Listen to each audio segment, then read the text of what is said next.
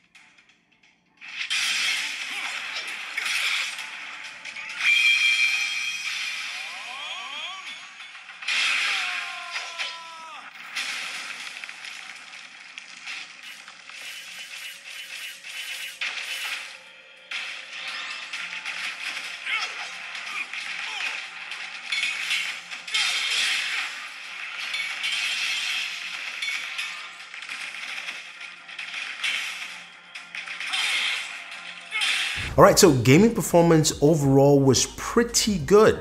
I had some really good performance with PUBG Mobile going through the highest settings of Ultra HD, HD, which was great to see that. Uh, also Call of Duty, of course, which runs quite well in most games. Genshin Impact, I want to say big thanks to you guys for suggesting this game. It looks really fun, and interesting, and it played really well on the device. Now, um, Blade of God played really well. But I did have some slowdowns on Samurai Jack and it looked like it happened a few stages throughout the game. Uh, nothing too crazy, but it was noticeable enough. Uh, I will at least put this in the corner of game still needs to be optimized for the new chipset, so we have to wait and see.